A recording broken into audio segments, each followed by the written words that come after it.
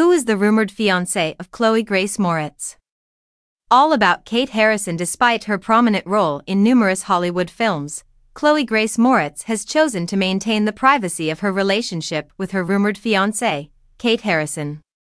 Harrison and the kick-ass actress were initially romantically associated in December 2018, when they were observed kissing during a date night.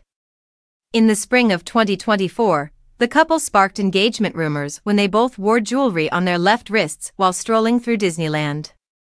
During an interview with iNews in November 2022, Moretz affirmed that she was in a long-term relationship, despite the fact that she has kept the specifics of their romance under secrecy, she stated, I prefer to maintain the privacy of my personal life. She then disclosed, I am currently involved in a long-term relationship. I find that to be quite enjoyable. Moretz disclosed her sexual orientation for the first time on Instagram in November 2024, when she explicated her decision to support Vice President Kamala Harris in the 2024 presidential election, which she asserted had so much at stake. As a gay woman, I am a proponent of legal protections that safeguard the LGBTQ community, she wrote in the caption of a photo of her I voted decal. We need protections in this country and to have access to the care we need and deserve.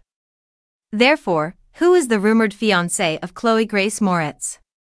The following information pertains to Kate Harrison and her relationship with the actress.